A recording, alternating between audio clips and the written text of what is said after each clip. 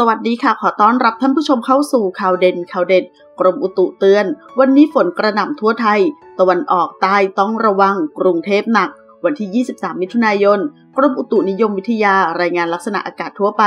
พยากรณ์อากาศ 24 ชั่วโมงข้างหน้า ประเทศไทยยังคงมีฝนฟ้าขนองในระยะนี้ และมีฝนตกหนักบางแห่ง บริเวณกรุงเทพมหานคร และปริมณฑล ภาคตะวันออกและภาคใต้ เนื่องจากมรสุมตะวันตกเฉียงใต้ พัดปกคลุมทะเลอันดามันและประเทศไทย ประกอบกับลมตะวันออกเฉียงใต้ พัดปกคลุมอ่าวไทย และภาคตะวันออก ขอให้ประชาชนบริเวณภาคตะวันออกและภาคใต้ ระมัดระวังอันตรายจากฝนตกหนักที่เกิดขึ้นในระยะนี้ด้วย ขอขอบคุณข้อมูลจากข่าวสดขอบคุณค่ะ